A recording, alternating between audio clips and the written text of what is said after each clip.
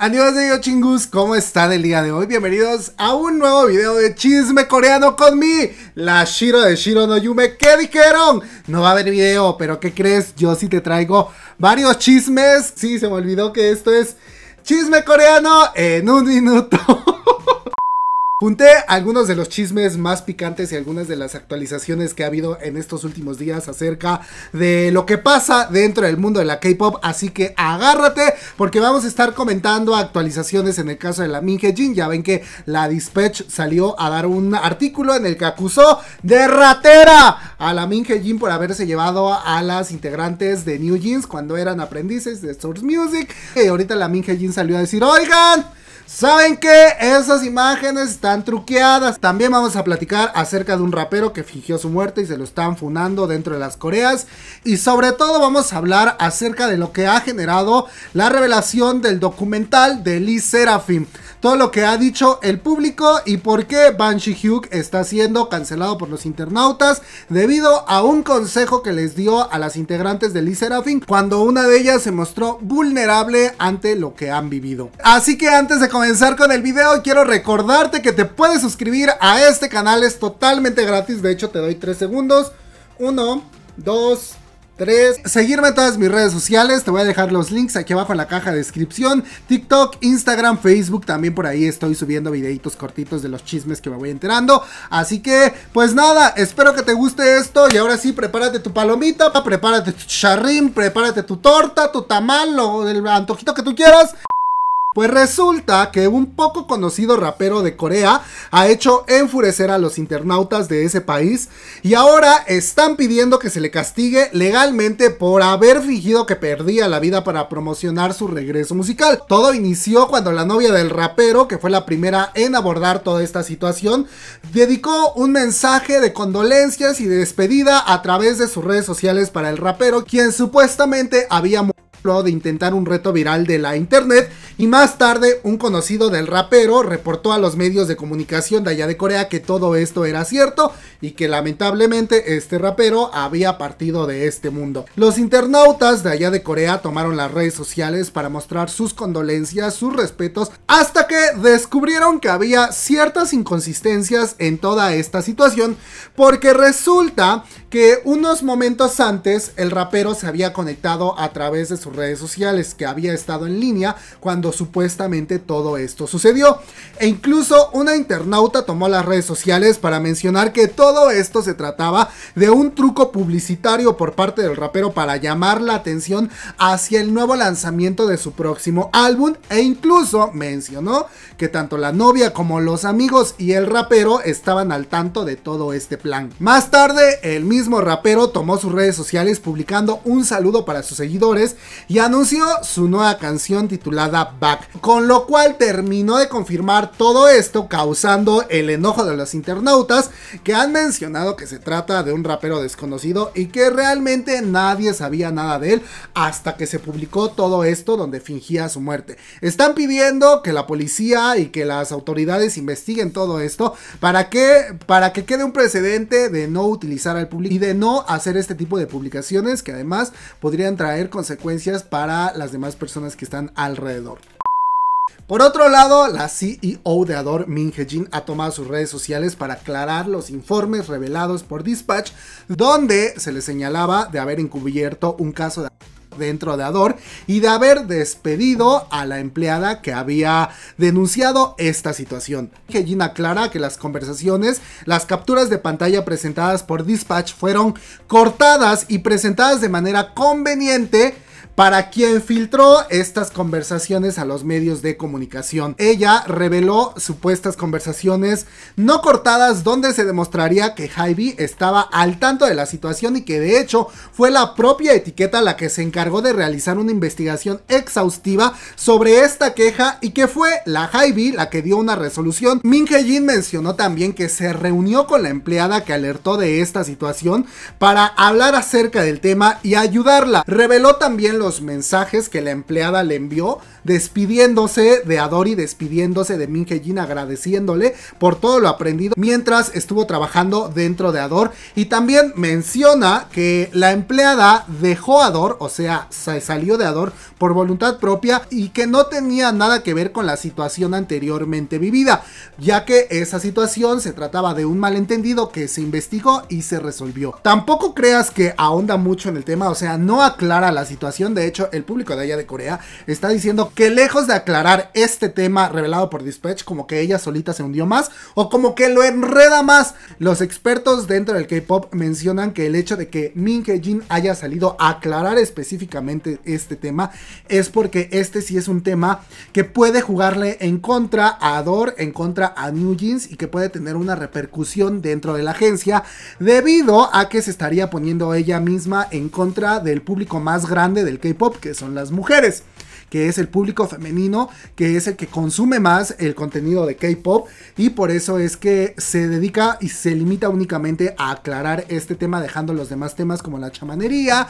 los pleitos con Source, los pleitos con Hy-B de fuera, como que no dándole importancia a esas situaciones. ¿Quién sabe ahí? Pero yo sí lo que digo es ya quítale el internet a esa señora. Mira, chica, cállate.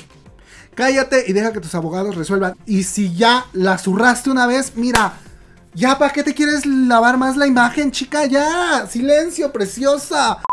Oye, y justamente hablando de Hy-B, parece ser que las críticas para su fundador, para Ban Shin-hyuk, vienen una detrás de otra. Yo creo que este señor no cargó, no arrulló muy bien al niñito Dios en las fiestas, en el diciembre pasado, por eso es que al señor le está lloviendo y ahora ha sido cuestionado por un consejo que le dio a una de las integrantes de Lee Seraphim, luego de haberse mostrado vulnerable en el reciente documental revelado por Hy-B acerca del grupo. En los últimos días, Hy-B reveló un documental sobre Lee Seraphim dividido en cinco capítulos y en este documental las integrantes hablaron acerca de cómo ha sido todo este tiempo promocionando las luchas internas, las luchas dentro del grupo, las luchas que han tenido que enfrentar dentro de la industria musical y seguir avanzando al mismo tiempo que se mantienen fiel a ellas mismas. Una parte que por cierto llamó muchísimo la atención, pues la integrante Eun Cha habló acerca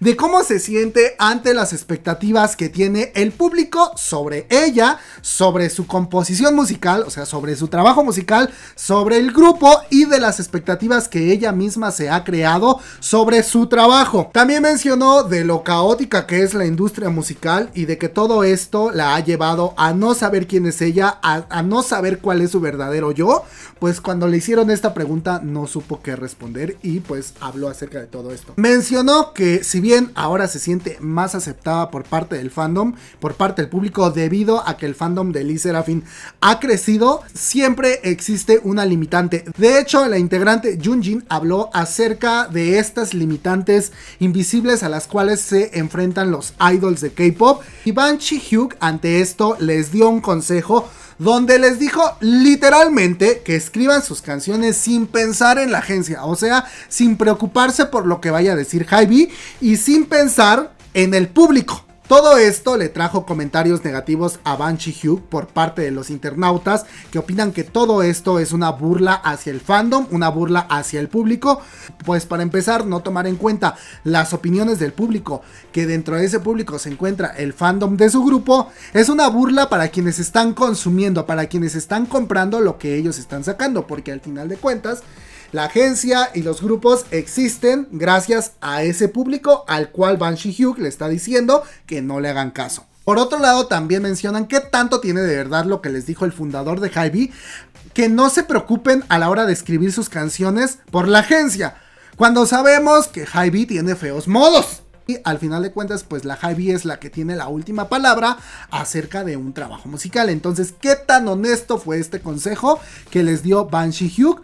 Si lo está dando desde un punto de vista personal, desde una postura del creador del grupo, de ser empáticos con ellas, o lo está dando únicamente desde la postura del privilegio, porque pues para él todo está resuelto. El público también habla acerca de lo armado que está este documental, que parece ser una estrategia de marketing, de media play, para ganarse al público en medio de todo el escándalo que hay entre Source Music y Min Jin por haber involucrado a Lee Serafim en todo esto. Algunos internautas siguen cuestionando el por qué las integrantes de Lee Serafim se siguen quejando, según a la vista del público, de toda esta situación cuando ya llevan varios años dentro de la industria musical. El público pensaría que para el tiempo que ya lleva el grupo promocionando y toda la experiencia que tiene Lee Serafim arriba de los escenarios, comparado con otros grupos y comparado con la segunda generación, el grupo debería de tener ya más estabilidad en vez de traer estas quejas, según el público, de que no se sienten ellas mismas o de que la industria es complicada cuando se sabe que pues la industria del K-pop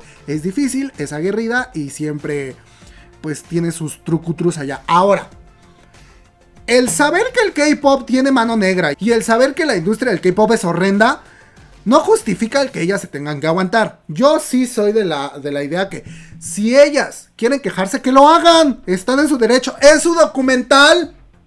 Oye, no les vas a venir tú a limitar lo que van a decir en su documental. ¿Estamos de acuerdo? Si las señoras quieren llorar y quieren decir y quieren gritar y quieren que lo hagan. Es un documental sobre Lee Serafin. No es un documental sobre el público coreano. No es un documental sobre ti, sobre mí o sobre fulanita que no le gusta.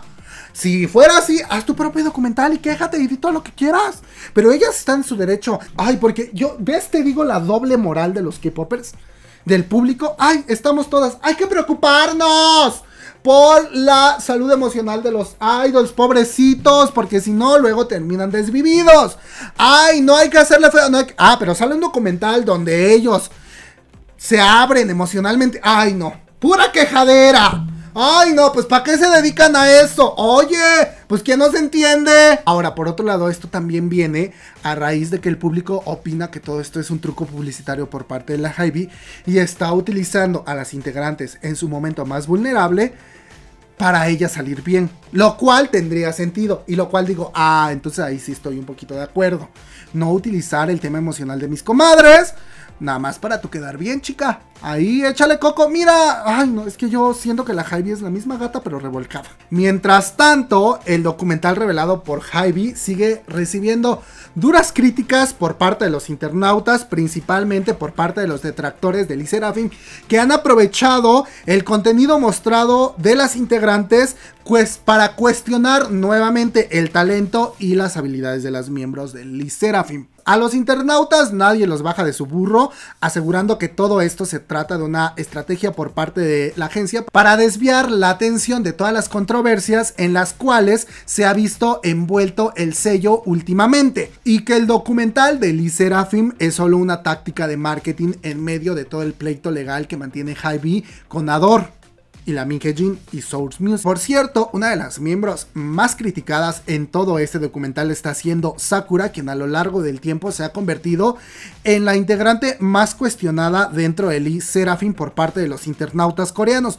Recordemos que gran parte de esto viene porque Sakura pues es japonesa y luego además, sumado a eso, la forma en la que Sakura ha respondido a los internautas en todas las controversias en las que se ha visto envuelta, más recientemente por las respuestas que dio ante las críticas por parte del público debido a la presentación de Lee Serafim dentro del Coachella que se celebró recientemente. Sakura en este documental se mostró muy vulnerable y se cuestiona a sí misma si el ser idol fue la mejor decisión que pudo haber tomado y si el ser idol es el mejor trabajo para ella. Mencionó también que hay momentos en los que ella no sabe por qué decidió seguir el camino de ser idol, aunque aclara que estos pensamientos no la invaden siempre, que estos pensamientos y estos cuestionamientos vienen únicamente cuando comete errores, cuando se siente frustrada o cuando llega a un límite. Mencionó que el ser idol es un trabajo que está lleno de momentos de llanto y momentos difíciles de asimilar para los que están dentro de esa industria. Aún así, dijo que es el único trabajo que a ella la hace feliz y que no le importa lo que diga la gente, por lo tanto ella se esfuerza en seguir adelante. Que son más los momentos felices que tiene siendo idol que estos momentos de frustración en los cuales ella se cuestiona el por qué ser idol. Obviamente los fans de Sakura han mostrado su preocupación ante lo que ella dijo. También los fans de Lee Serafin han alzado la voz cuestionando a Hybe la decisión de haber dejado estos momentos dentro del documental, que si bien en otro momento o si bien para el fandom pueden ser momentos demasiado íntimos con cada una de las integrantes, ver su lado más personal, ver el lado de la frustración, de que no todo dentro del K-pop es color de rosa y todo el sufrimiento que hay detrás de un grupo de K-pop, también es cuestionable la exposición a la que las está poniendo Hybe al dejar estos momentos, porque los internautas y los antifans iban a aprovechar estos momentos para volver a cuestionar y poner en tela de juicio el talento de las integrantes y para volverlas a atacar desde un punto de vista emocional. Pasando a otro tema, a otra cosa mariposa, Choa, ex integrante de AOA, ha revelado recientemente que con la apertura de su canal dentro de YouTube ha generado muchísimo más dinero de lo que generó estando dentro de AOA, lo cual ha despertado nuevamente el debate dentro de los internautas sobre la forma disfuncional en la que se desarrolla la industria del K-pop, en la cual los idols son los que más trabajan y los que menos paga reciben. Entonces todo esto ha llevado a poner sobre la mesa las opiniones de que la industria del K-Pop está acercándose a una transformación en la cual abunden los idols, abunden los artistas indies que van a utilizar el potencial de las redes sociales para hacerse idols de K-pop, haciendo uso de todas estas nuevas herramientas y de toda esta exposición que te pueden dar las redes sociales en este momento, como ha pasado ya en otros países. Choa mencionó que con los 420 mil suscriptores que ha acumulado en este mes, ha logrado ganar mayor impulso y mayor energía para crear contenido y como resultado ha ganado más dinero del que hizo y del que ahorró promocionando como miembro de AOA. Y estamos hablando de AOA, que en su momento fue un grupo que le fue bastante bien y que de hecho se hablaba que iba a ser el grupo femenino líder de la tercera generación. Y ya para terminar con este video que según yo iba a durar 10 minutos, Bunnies, el fandom de New Jeans fue duramente criticado por el fandom de Lee Serafin. Últimamente Lee Serafin, ay yo no sé por qué están acarreando tanto el nombre de Lee Serafim a tanta controversia. Y esto no es culpa del grupo ni de los fans. Es culpa de las dos agencias que se están encargando de, de poner como escudo a Lee Serafim. Ya a la hype, mira, yo te voy a dar una, un, algo que te voy a decir y espero que no se lo tomen a mal. Pero como a la hype ya vio que no le funcionó con BTS, utilizar a BTS como excusa, porque el fandom ya dijo, a ver Aquí vamos a apoyar a BTS y no vamos a apoyar a la agencia, así que a nosotras ni nos metas, porque a la hora de la hora nosotras no vamos a abogar por ti. O sea, vamos a salvar a BTS, pero a ti no. Si a ti te está llevando a la fregada, pues felicidades porque te lo buscaste. Y entonces como la agencia ya vio que con BTS no le va a funcionar, no va a poder hacer media play con BTS en todo este escandalazo, ahora está recurriendo a otros grupos. Y aguas ahí, comadres, de las serafinas por favor, porque además esa debería de ser la postura de todos los fandoms. El fandom de New Jeans fue criticado por el fandom de Lee Serafin luego de que se revelaran, luego de que se revelaran los planes que tenía Bunnies para enviar coronas de flores funerarias o coronas funerarias de flores al edificio de la Hybe como protesta por todos los daños que Hybe le ha causado a las integrantes y a New Jeans con todo este pleito legal que tiene con Ador. Esta protesta por parte de los fans de pantalones nuevos estaba planeada para realizarse entre el 30 de julio y el día 1 de agosto. Lo que causó el conflicto entre ambos fandoms es que esta protesta coincidía con el cumpleaños de Kim Chewon, una de las integrantes de Lee Seraphim. Y según lo informado por parte de Hybe, la agencia tenía planeado un evento de cumpleaños, un evento de celebración en el edificio de la agencia. El público sí está opinando que eh, las protestas por parte del fandom de New Jeans no tienen nada que ver con otros artistas ni con otros grupos de la misma agencia. Que esto va, pues sí, directamente hacia lo que está haciendo Hybe con New Jeans y que tampoco tiene que ver nada ni con la Minje Jin, ni con Ador, ni por defender a Minje Jin, sino esto va directamente por las integrantes de New Jeans. Pero pues bueno, tú dime qué opinas acerca de todo esto acá abajo en los comentarios. Y nada, hasta aquí vamos a dejar la vida del día de hoy. Oye, fíjate que ya son las 3 de la tarde, yo no he almorzado nada y me voy a ir a hacer de almorzar para luego editar esta video. Nos vemos, recuerda que yo soy Shiro, esto fue Chisma Coreana y bye bye.